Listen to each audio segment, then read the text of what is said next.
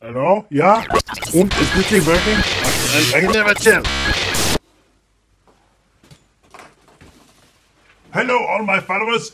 This is Professor Wilhold Ornat, and I'm trying to make one of my videos go viral. So I want you to help me make it go viral. I want to have lots and lots of followers. Yeah, so hashtag Wilhold Ornat, hashtag Cookie Face Challenge. That's what we are doing here. So uh, maybe you have heard of the cookie challenge. Yeah, you take a cookie, any kind of cookie will do.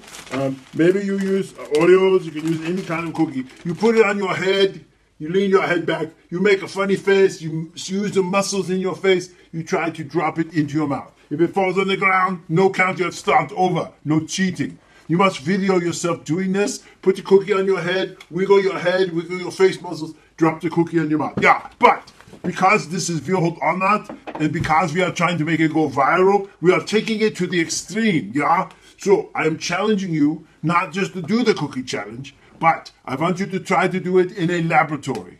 Yeah, find a laboratory. Maybe uh, you can use your school's laboratory. You break in when no one's looking. Uh, you can use maybe a, a lab at, at, a college. Uh, maybe you'll have some in your basement.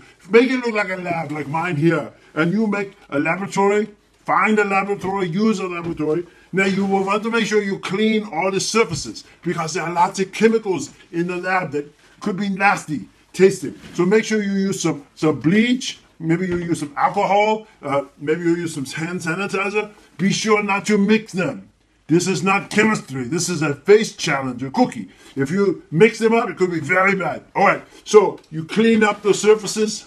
You get yourself some cookies. You put them on your face you try to drop it in your mouth, and then you post the video right here. Wilhold Ornat Cookie Face Challenge. We are going to go viral. Thank you for your help. And uh, make sure you like me down here. And I will look forward to seeing you next time. Wir. Pleasure and happy.